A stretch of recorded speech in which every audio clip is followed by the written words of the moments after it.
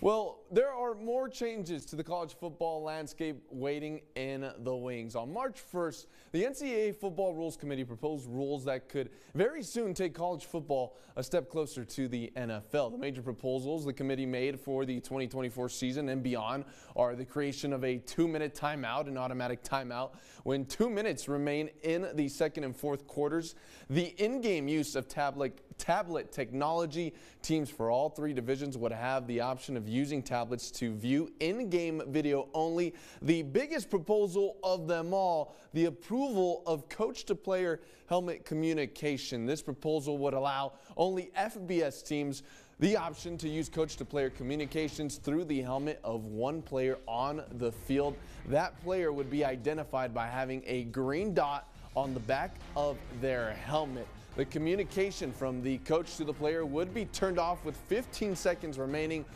on the play clock or when the ball is snapped, whichever comes first. New Mexico State football head coach Tony Sanchez says the team was using the new helmet communications during its spring season. As for UTEP, head coach Scotty Walden and the Miners have not dabbled with it this spring, but do plan on doing so in the future. Now, even though UTEP and NMSU find themselves in different situations when it comes to working with the coach to player communication devices, both feel approval of the technology will benefit their squads this season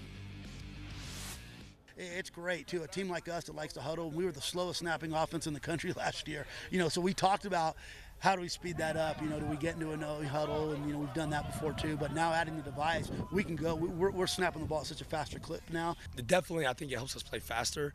Um, if it's for some reason slowed us down, we go back to old school, kind of how we do it. But we definitely plan on using it. I mean, I think it's a weapon, man. I think that you know, for tempo offenses, I think it lets you go even faster. You know, so I think it really benefits a team like us. Now, the recommendations need to be approved by the NCAA Playing Rules Oversight Panel. The panel scheduled to meet today, but no word yet on a ruling. If approved, coach to player helmet comms will finally be in college football 30 years after the NFL adopted the technology.